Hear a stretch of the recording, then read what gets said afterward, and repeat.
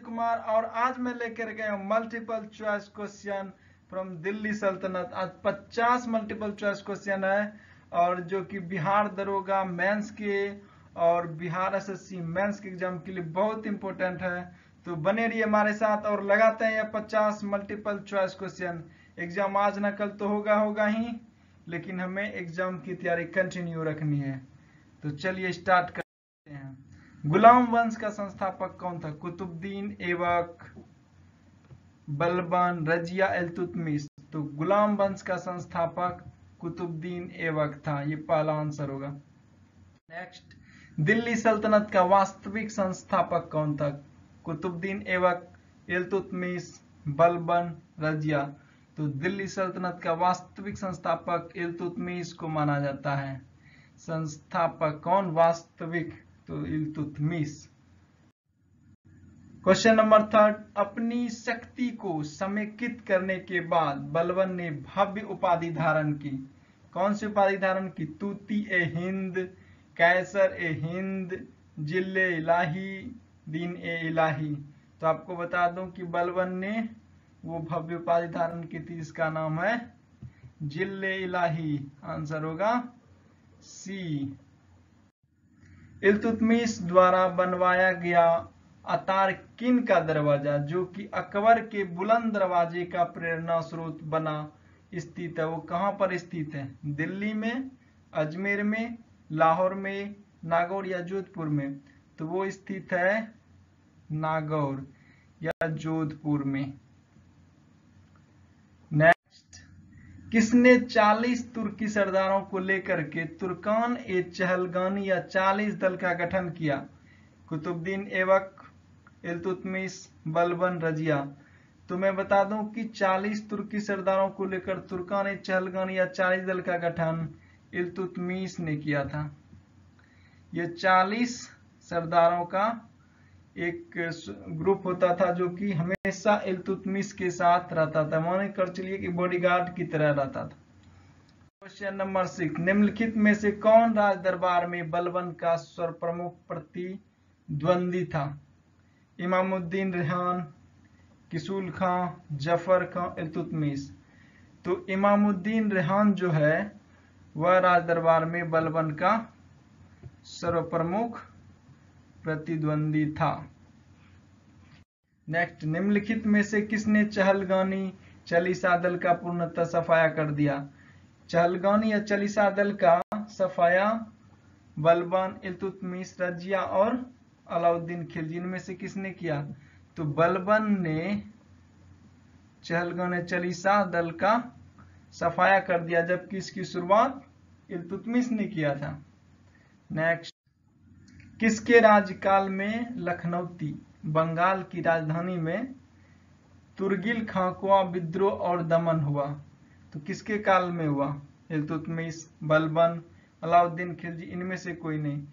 तो यहाँ पर तुर्गिल खां का विद्रोह और दमन हुआ या बलबन के शासनकाल में हुआ?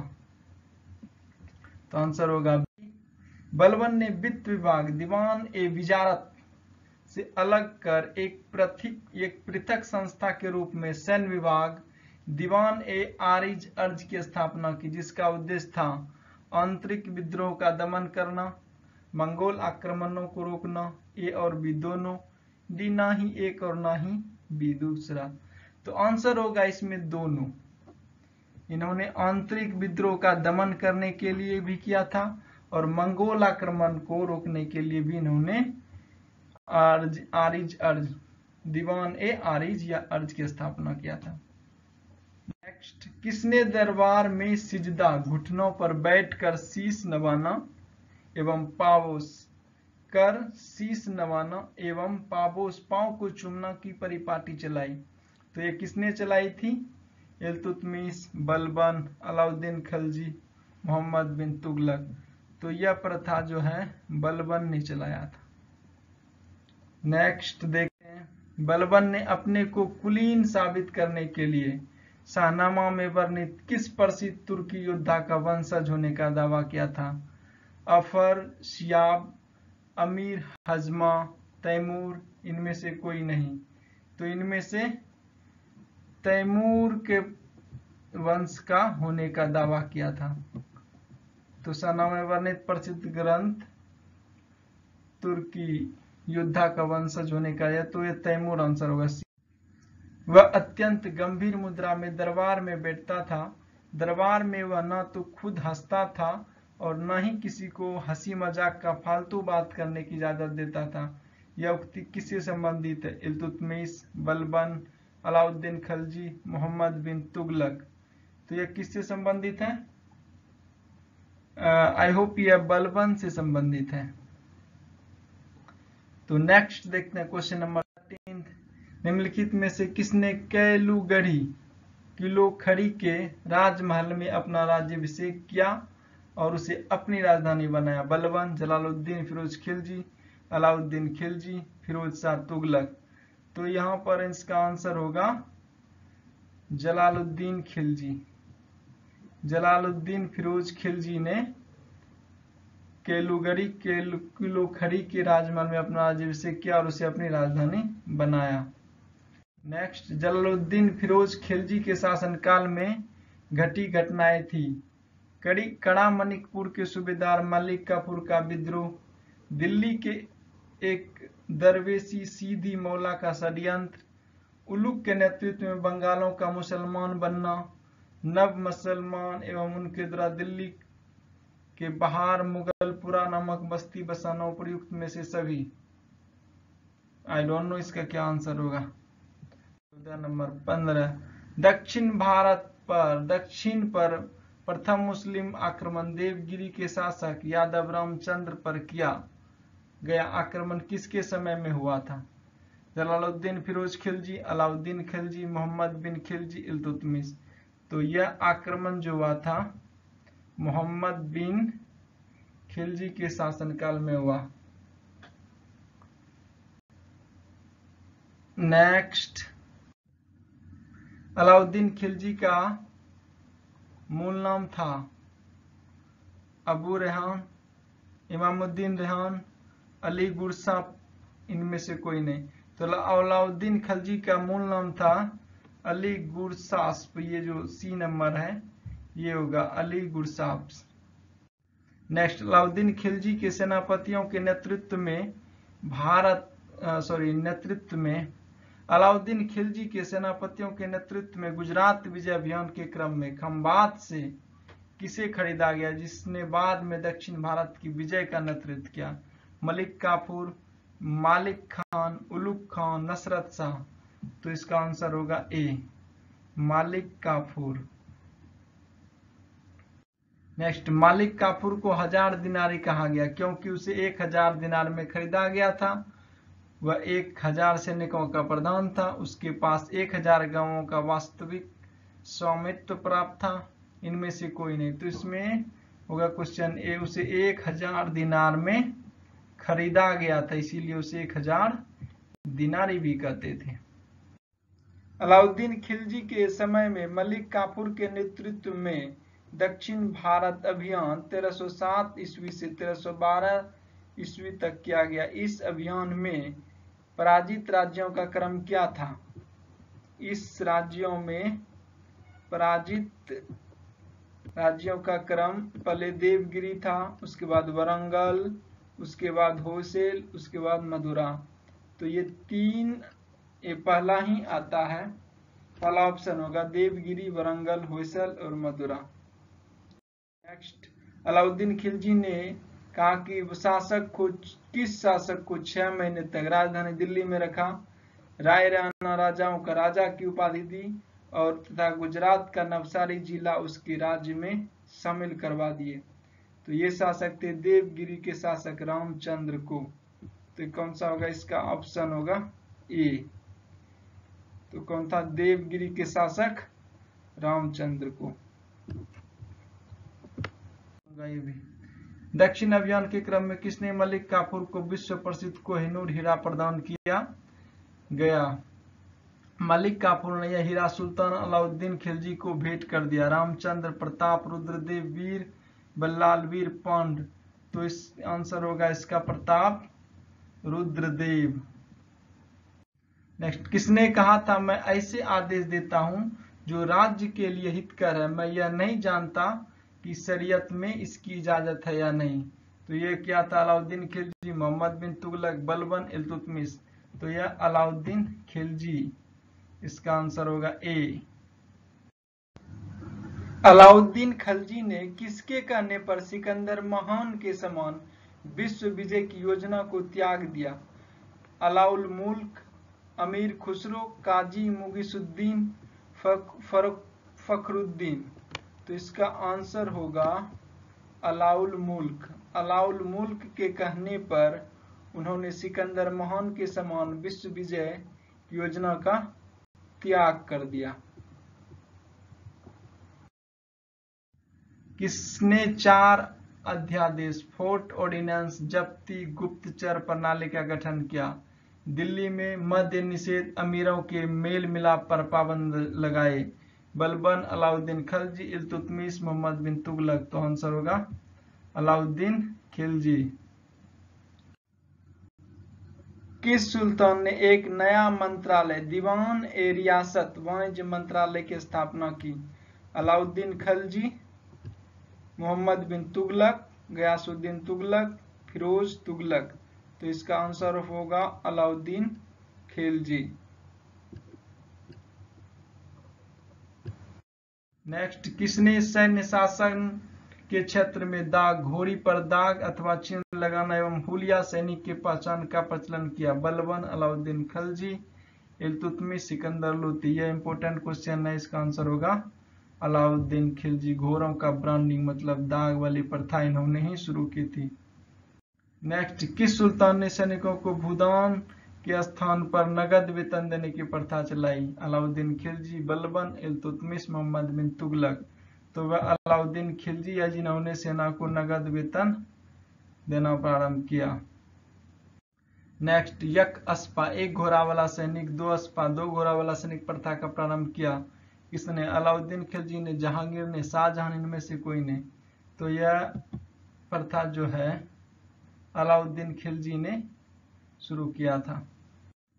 अलाउद्दीन खिलजी के राजस्व प्रणाली के सुधार में संबंध में कौन सा कथन सही है? भूमि अनुदानों की समाप्ति किया उसने एक सही है। मुकदमों, खेतों, खुतों और चौधरियों मोरलैंड के शब्दों में समस्त वर्ग के विशेष अधिकार को समाप्ति एवं दीवान मुस्तकराज की स्थापना। ये विषय विश्वा के आधार पर भूमि की पैमाइश कर सकल उत्पाद का 50 प्रतिशत खराज निर्धारित किया। यह विषय चार जकात, जजिया, खुस्म गनीमा की नई दर निर्धारित किया यह विषय तो ये एक, दो, तीन, चार साहब सही है। तो आंसर बी उनतीस का, बी होगा एक, दो, तीन, चार।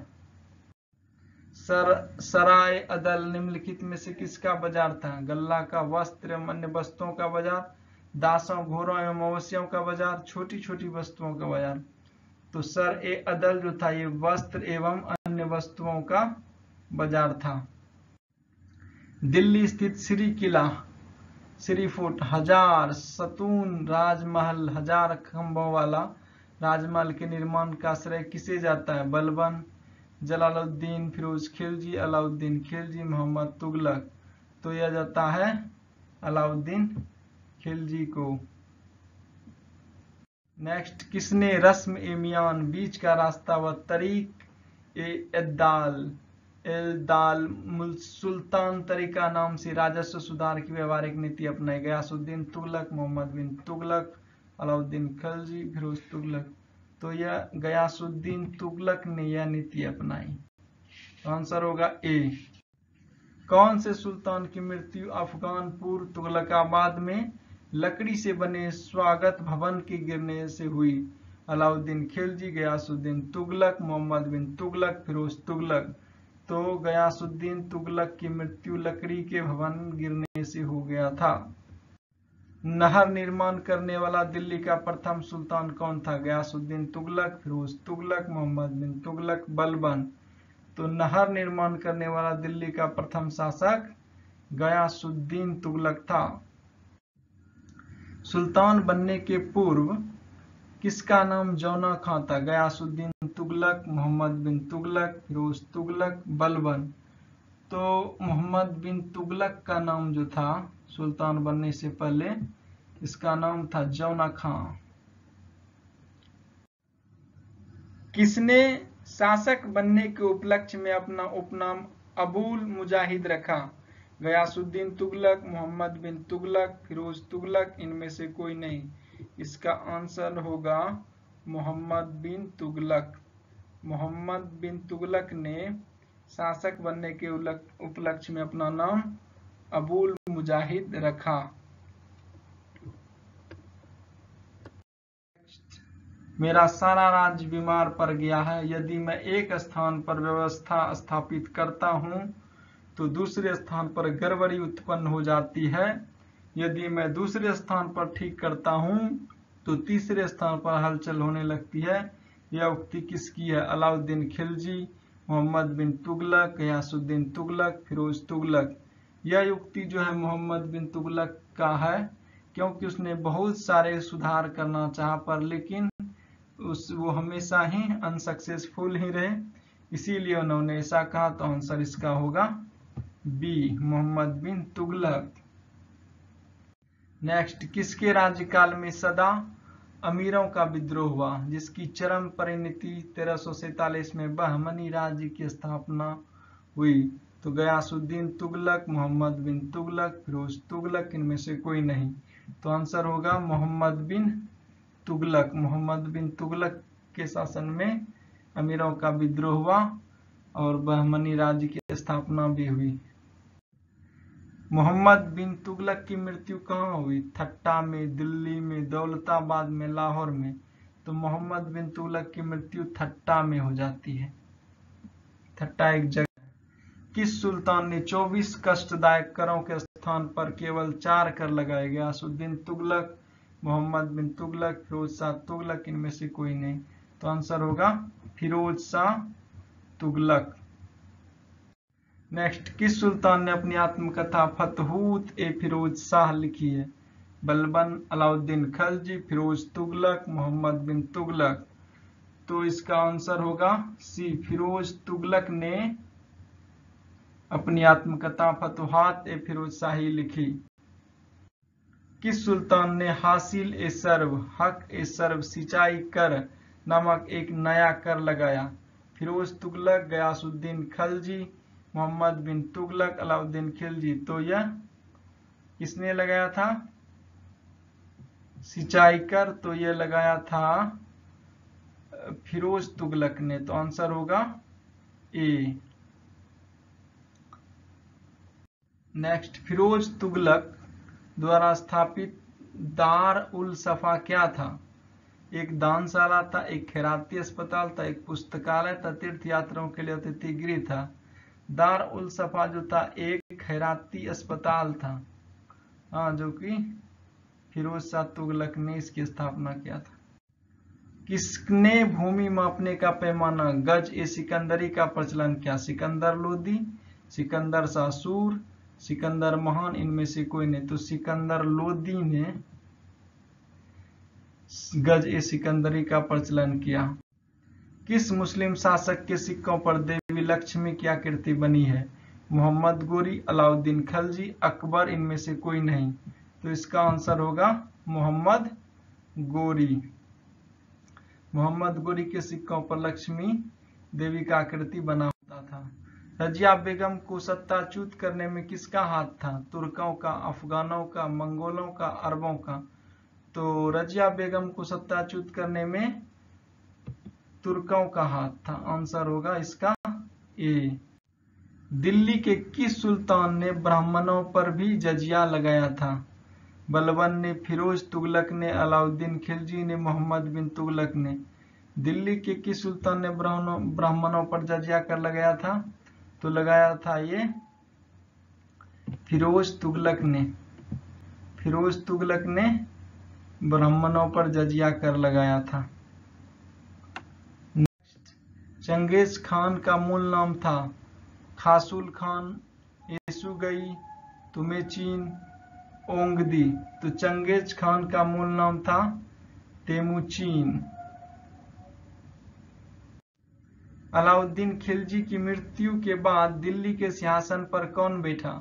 अलाउद्दीन खिलजी की मृत्यु के बाद गयासुद्दीन तुगलक, नसरुद्दीन दौलत खां, खिज्र खां। अलाउद्दीन खिलजी के बाद दिल्ली के सिंहासन पर नासिरुद्दीन बैठा। नेक्स्ट क्वेश्चन निम्न में से किस शहर में मदरसा हौज खास स्थित है? मथुरा, आगरा, दिल्ली, इलाहाबाद। तो मदरसा हौज खास यह जो है यह दिल्ली में स्थित है।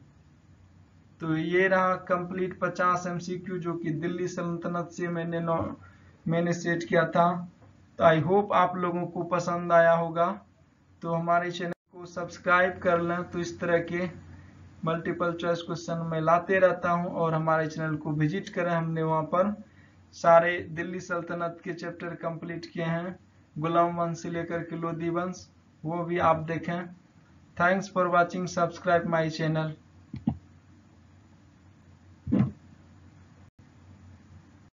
hello friends Education Tube में आप सभी का स्वागत है। मैं हूँ प्रजापति कुमार और आज हम करेंगे मुगल काल से 130 प्लस वन लाइनर क्वेश्चन जो कि बहुत इंपोर्टेंट क्वेश्चन है और यह कम समय में आप 130 क्वेश्चन कर पाएँगे और इसको एग्ज़ाम देने से जाने से पहले आप इसको करके जाएँ। बहुत उपयोगी क्वेश्चन है यह।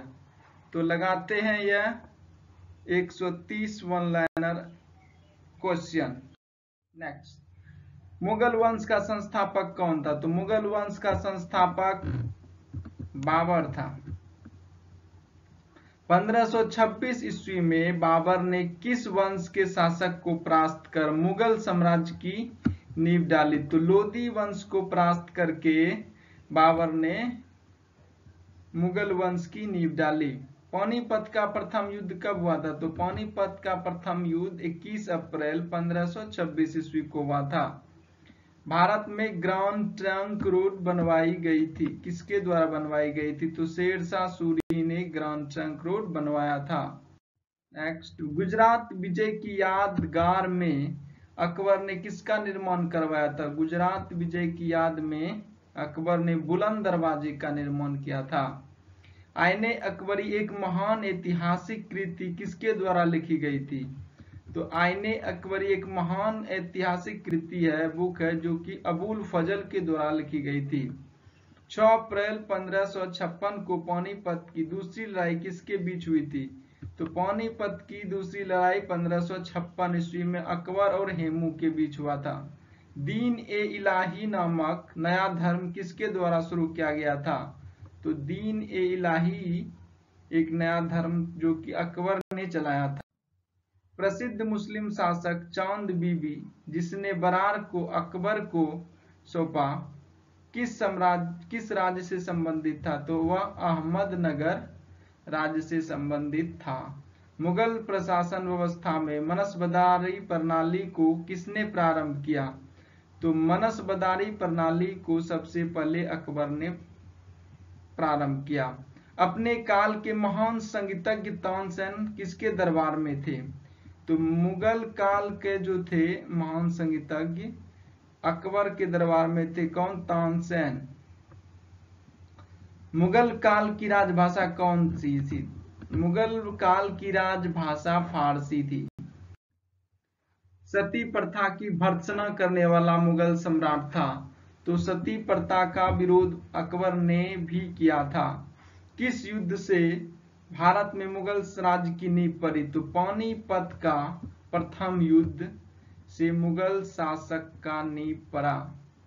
मुगल चित्रकारी ने किसके शासनकाल में प्रकाष्ठा चरमोत्कर्ष प्राप्त किया? तो मुगल चित्रकारी ने जहांगीर के शासनकाल में प्रकाष्ठा चरमोत्कर्ष प्राप्त किया। किसके अकबर किसने अकबर की जीवन गाथा लिखी? तो अबुल फजल ने अकबर की जीवन गाथा लिखी है। नेक्स्ट किस मुगल शासक ने भारत की वनस्पतियों और प्राणी जगत, ऋतुओं और फलों का विशद विवरण अपनी दैनंदिनी डायरी में किया? तो बाबर तो बाबर ने यह वर्णन किया है। शेरशाह की महानता का द्योतक क्या है? तो शेरशाह की महानता का द्योतक है प्रशासनिक सुधार। हुमायूं नामा किसने लिखा था? तो हुमायूं नामा गुलबदन बेगम ने लिखा था। अकबर के शासन में महाभारत का फारसी भाषा में अनुवाद किया गया था। वह किस नाम से जाना जाता है? तो फारसी भाषा में महाभारत का अनुवाद किया गया था, जिसको रजमानामा के नाम से जाना जाता है फारसी में।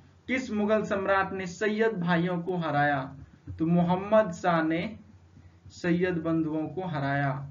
कौन अंतिम मुगल सम्राट था? तो बहादुर शाह द्वितीय जो था, अंतिम मुगल सम्राट था।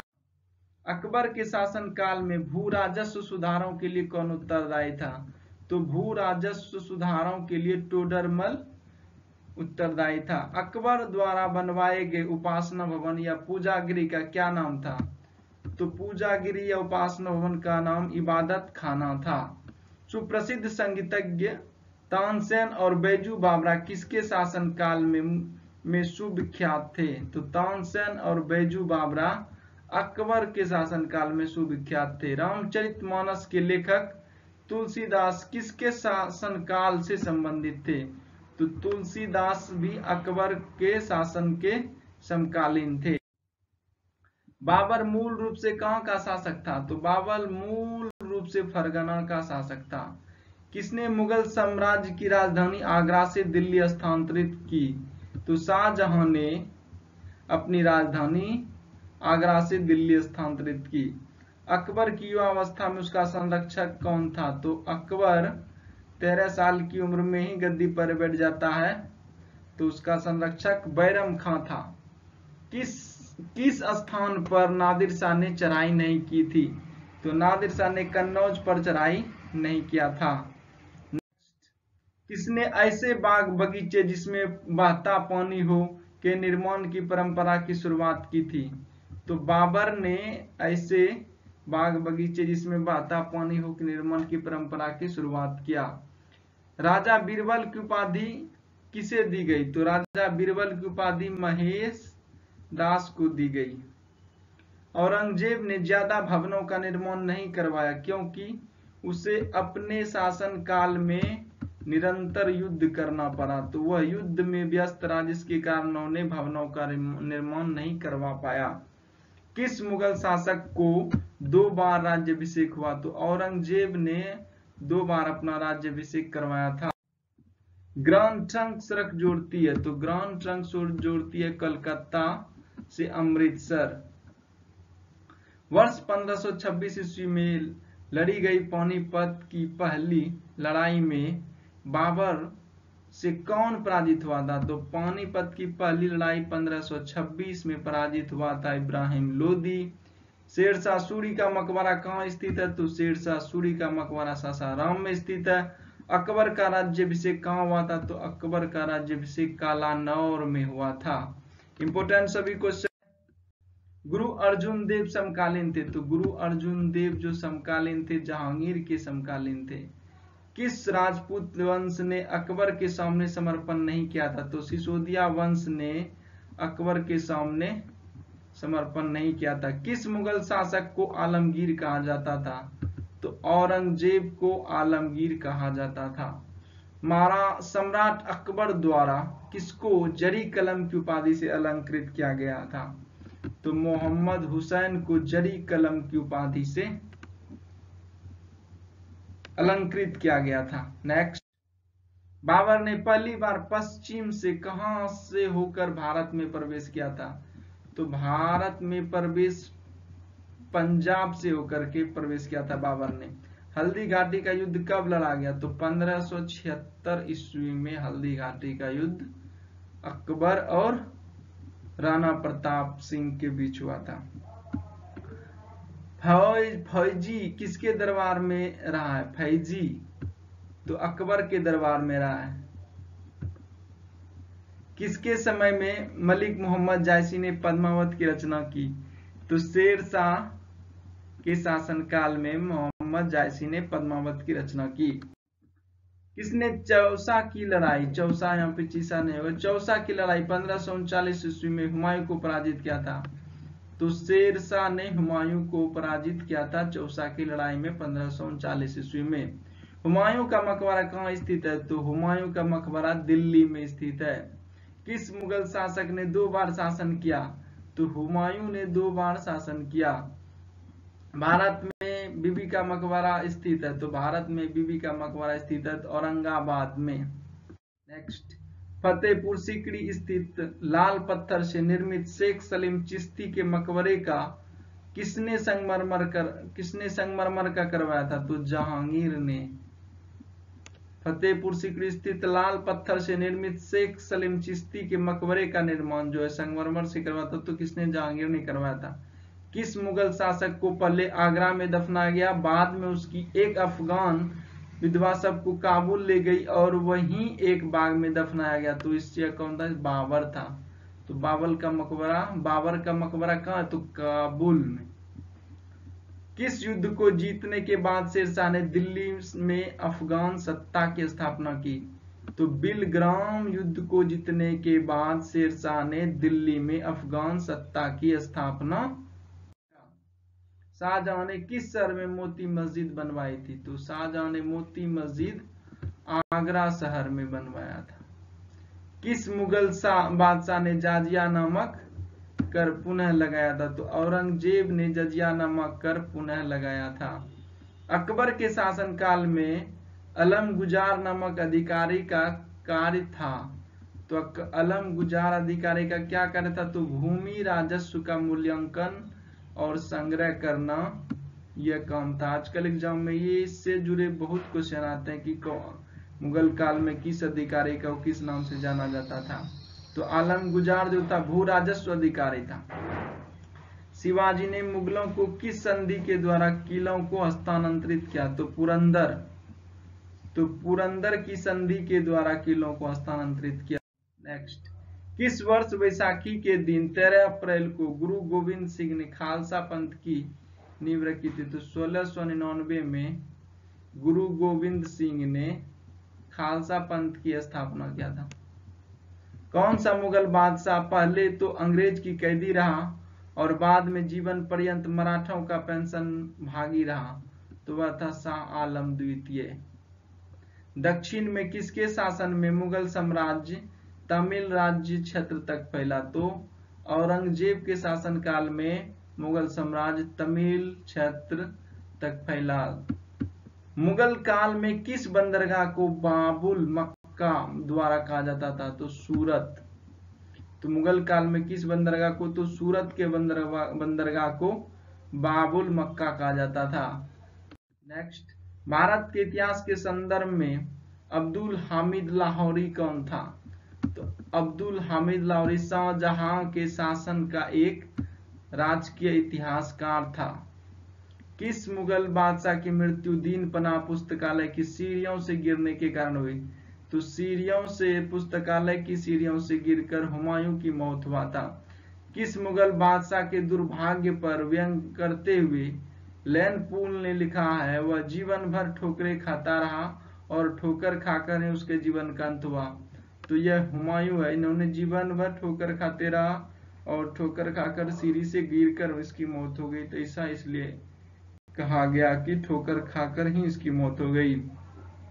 मुगल प्रशासन में मोहतसीब था लोक आचरण अधिकारी। तो मुगल प्रशासन में मुहतसीब था तो लोक आचरण मुगल प्रशासन में मदद ए मास इंगित करता है। तो मदद ए मास इंगित करता है, विद्वानों को दी जाने वाली राजस्व अनुदत्त भूमि। दास्तान ए आमिर हमजा का चित्रांकन किसके द्वारा किया गया? तो दास्तान ए आमिर हमजा का चित्रांकन अब्दुल समद के द्वारा किया गया। किस सुल्तान ने पहले हज़रत ए आला की उपाधि अपनाई और बाद में सुल्तान की? तो शेर शाह सूरी ने पहले हज़रत अला की उपाधि अपनाई, बाद में सुल्तान की। किस मुगल बादशाह को वज़ीर गजाउद्दीन ने दिल्ली में दाखिल नहीं होने दिया? तो शाह आलम द्वितीय ने मुगल बादशाह वज़ीर गाजीउद्दीन को दिल्ली में दाखिल नहीं होने दिया। नेक्स्ट मनस मसनवी जो बाबर द्वारा मुस्लिम कानून के नियमों का संग्रह है तो क्या है? मुबाइन उसको कहते हैं मुबाइन। मसनवी जो बाबर द्वारा मुस्लिम कानूनों के नियमों का संग्रह है। तो अंग्रेज़ औरंगज़ेब द्वारा चलाए गए जिहाद का अर्थ है दार उल इस्लाम। दिल्ली के लाल किले का निर्माण किसने करवाया था? तो शाहजहां ने। इक्कीस इतिहासकार ने शाहजहां के शासनकाल को मुगल काल का स्वर्ण युग कहा है। तो ए एल श्रीवास्तव। ने शाहजहां के शासनकाल को मुगल कला का स्वर्ण काल कहा है, क्योंकि उन्होंने मोती मस्जिद, जमा मस्जिद, ताजमहल इत्यादि बनवाए। पटना को प्रांतीय राजधानी बनाया था तो पटना को प्रांतीय राजधानी शेर शाह ने बनाया था। मयूर सिंहासन तख्त ए ताउस पर बैठने वाला अंतिम मुगल बादशाह कौन था? तो मोहम्मद शाह रंगीला, मयूर सिंहासन पर बैठने वाला अंतिम शासक था। किसमें हिंद तथा ईरानी वास्तुकला का सर्वप्रथम समन्वय देखने को मिलता है। तो शेर शाह के मकबरे में हिंद तथा ईरानी वास्तुकला का सर्वप्रथम समन्वय देखने को मिलता है। शेर शाह के बचपन का नाम क्या था? तो शेर शाह के बचपन का नाम फरीद खां था। नेक्स्ट शेरशाह को उसके पिता हसन खान ने एक जागीर के प्रबंधक के रूप में नियुक्त किया था। वह जागीर था। वह जागीर था सासाराम। पानीपत के युद्ध में बाबर की जीत का मुख्य कारण क्या था? तो पानीपत की जीत में बाबर की मुख्य कारण था सैन्य कुशलता। जब्ती प्रणाली किसकी उपज थी तो जब्ती प्रणाली शेरशाह की उपज थी जवाबित का संबंध किससे था? जवाबित का संबंध राज्य कानून से था। नेक्स्ट ईरान के शाह और मुगल शासकों के बीच झगड़े की जड़ क्या था? तो कंधार। ये कंधार जो था ईरान के शाह और मुगल शासकों के बीच झगड़े का जड़ कंधार। मुमताज़ महल का असली नाम क्या था? तो मुमताज़ महल का असली नाम था अर्जू मंद बानो बेगम। किस मुगल बादशाह को ज़िंदा पीर कहा जाता था? तो औरंगज़ेब को ज़िंदा पीर कहा जाता था। अकबर द्वारा बनाई गई कौन सी इमारत का नक्शा बुद्ध बिहार की तरह है? तो पंचमहल का नक्शा जो है, बौद्ध बिहार की तरह है। नेक्स्ट अंतिम मुगल बादशाह बहादुर शाह ज़फ़र था, उसके पिता का नाम था तो उसके पिता का नाम था अकबर शाह द्वितीय। अंतिम मुगल बादशाह था बहादुर शाह ज़फ़र, उसके पिता का नाम था अकबर शाह द्वितीय। अकबर ने सर्वप्रथम वैवाहिक संबंध राजपूतों के जिस गृह से स्थापित किया था, वह था कछवाहों से। औरंगज़ेब ने दक्षिण में जिन दो राज्यों को विजित किया था, वे थे गोलकुंडा व बीजापुर। किस मुगल बादशाह ने अपनी आत्मकथा फारसी में लिखी? तो जहांगीर ने अपनी आत्मकथा तुजुक ए जहांगीरी फारसी में लिखा। मुगलों ने नवरोज नवरोज का तिहार लिया। किससे लिया? तो यह तिहार पारसी से लिया। कौन सा मकबरा द्वितीय ताजमहल कहलाता है। तो राबिया उद्दौरानी का मकबरा ता, द्वितीय ताजमहल का मकबरा कहलाता है। किस बादशाह के अंतर्गत मुगल सेना में सर्वाधिक हिंदू सेनापति थे? तो औरंगज़ेब औरंगज़ेब बादशाह के शासन काल में सबसे अधिक हिंदू सेनापति थे। तो किस इतिहासकार ने अकबर द्वारा प्रतिपादित दीन ए इलाही धर्म की स्थापना किया था। तो इस दिन ए इलाही धर्म की स्थापना अकबर ने किया था। तो किस इतिहासकार ने अकबर द्वारा प्रतिपादित दीन इलाही एक धर्म कहा? तो अबुल फजल। अनवार ए सुहेली। ग्रंथ किसका अनुवाद है? अनवार ए सुहेली पंचतंत्र का अनुवाद है। धर्मत का युद्ध अप्रैल सोलह में किन के बीच लड़ा गया? तो औरंगज़ेब और दारासिको के बीच लड़ा गया सोलह सौ अंठावन में। जहांगीर के दरबार में पक्षियों का सबसे बड़ा चित्रकार था। कौन था? तो पक्षियों का सबसे बड़ा चित्रकार जहांगीर के दरबार में मंसूर था। किसने मुगल काल में ऐतिहासिक विवरण लिखा? तो गुलबदन बेगम ने ऐतिहासिक विवरण प्रसिद्ध संगीतज्ञ तानसेन का मकबरा स्थित है। तो तानसेन का मकबरा कहाँ स्थित है? तो ग्वालियर में। गुलबदन बेगम पुत्री थी। तो किसकी पुत्री थी? तो बाबर की बेटी थी। मुगल प्रशासन में ज़िले को किस नाम से जाना जाता था? तो ज़िले को सरकार के नाम से जाना था, जाना जाता था। किस सिख गुरु की मृत्यु के लिए औरंगज़ेब जिम्मेदार हैं? तो औरंगज़ेब जो है, तेग गुरु तेग बहादुर की हत्या करने का जिम्मेदार औरंगज़ेब है। औरंगज़ेब ने गुरु तेग बहादुर की हत्या करवा दी थी। भारत के मुगल शासक बनने पर जहीरुद्दीन मोहम्मद ने क्या नाम रखा? तो भारत के मुगल शासक बनने पर जहरुद्दीन मोहम्मद ने बाबर नाम रखा। अकबर के काल में महाभारत का फारसी अनुवाद, जिसके निर्देशन में किया गया वह फैजी। दिल्ली की प्रसिद्ध जामा मस्जिद का निर्माण किसने किया? तो दिल्ली का प्रसिद्ध जामा मस्जिद शाहजहां के द्वारा निर्माण किया गया। किस मुसलमान विद्वान का हिंदी साहित्य के लिए सबसे महत्वपूर्ण योगदान है? तो अब्दुल रहीम खाना खान का बहुत योगदान है हिंदी साहित्य के लिए। अकबर द्वारा बनाई गई श्रेष्ठतम इमारतें पाई जाती है। फतेहपुर सिकरी में अकबर द्वारा। श्रेष्ठतम इमारत पाई जाती है। हल्दी घाट युद्ध पंद्रह के पीछे अकबर का मुख्य उद्देश्य क्या था? हल्दी घाटी राणा प्रताप को अपने अधीन लाना था। मुगल सम्राट अकबर के समय प्रसिद्ध चित्रकार था। तो मुगल सम्राट अकबर के दरबार में प्रसिद्ध चित्रकार था तो दसवंत। शेर शाह ने असरफी रुपया, दाम, नमक नए सिक्के चलाए। वे जिन धातुओं से बने होते थे, वे सोना, चांदी और तांबा के बने होते थे। नेक्स्ट अकबर के शासनकाल में पुनर्गठित केंद्रिक प्रशासन तंत्र के अंतर्गत सैनिक भाग का प्रमुख था तो सैनिक भाग का प्रमुख मीर बख्शी था। मीर बख्शी सैनिक भाग का प्रमुख था। किसने अकबर की कब्र खोद कर उसकी हड्डियों को जला दिया? तो राजा राम ने अकबर की कब्र खोद कर उसकी हड्डियों को जला दिया। अकबर का सबसे अंतिम विजय अभियान था तो असीरगढ़ विजय। असीरगढ़ विजय जो था अकबर का सबसे अंतिम विजय अभियान था। अकबर के नवरत्न में से एक बीरबल किस अभियान के समय मारे गए? तो यूसुफ जाइयों के विद्रोह को, को दबाते हुए यूसुफ जाहियों के विद्रोह को दबाते हुए अकबर का जो नवरत्न था, बिरबल, उसकी मृत्यु हो जाती है। अकबर ने किसे कविराज की उपाधि दी थी? तो अकबर ने बिरबल को कविराज की उपाधि दिया था। जहांगीर के निर्देश पर किसने अबुल फजल की हत्या कर दी थी? तो अबुल फजल की हत्या वीर सिंह बुंदेला ने किया था। मेवाड़ से युद्ध तथा चित्तौड़ की संधि किसके शासनकाल की महत्वपूर्ण उपलब्धि है? तो जहांगीर के शासनकाल की महत्वपूर्ण उपलब्धि है। तो अंतिम रूप से जजिया कर समाप्त करने वाला मुगल बादशाह था। तो अंतिम रूप से जजिया कर समाप्त करने वाला बादशाह मोहम्मद शाह रंगीला था। नेक्स्ट अकबरनामा किसने लिखा? तो अबुल फजल ने अकबरनामा लिखा। एतमाद उद्दौला का मकबरा आगरा में किसने बनवाया था? तो एतमाद उद्दौला का मकबरा आगरा में नूरजहां ने बनवाया था। राजपूतना के राज्यों में, राजपूतना के राज्यों में किस एक ने अकबर की संप्रभुता स्वीकार नहीं की? तो मेवाड़ ने अकबर की संप्रभुता कभी स्वीकार नहीं की। किस मध्यकालीन भारतीय शासक ने पट्टा एवं काबुलियत की प्रथा प्रारंभ की। तो पट्टा एवं काबुलियत की प्रथा शेरशाह ने किया।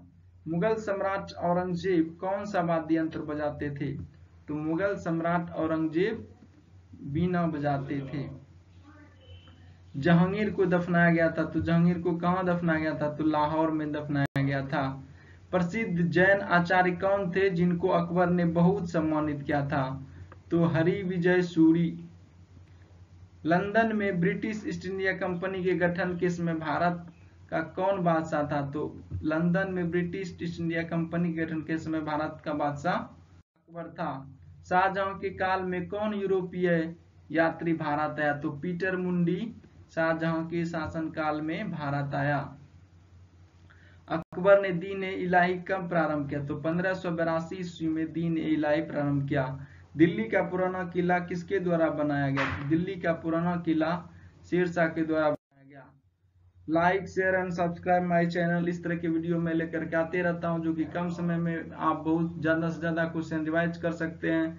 तो मैंने दिल्ली सल्तनत के क्वेश्चन मुगल कालीन क्वेश्चन और फिजिक्स केमिस्ट्री बायोलॉजी सभी क्वेश्चन मेरे यूट्यूब चैनल पर उपलब्ध है। आप वहाँ पर मेरे चैनल को विज़िट करें और प्ले लिस्ट में जाकर के आप सारा वीडियो देख सकते हैं। Thanks for watching again subscribe my channel